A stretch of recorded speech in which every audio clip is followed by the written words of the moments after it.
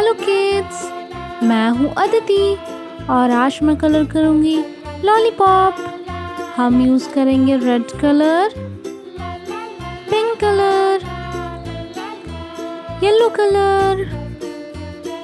baby pink colour orange colour and green colour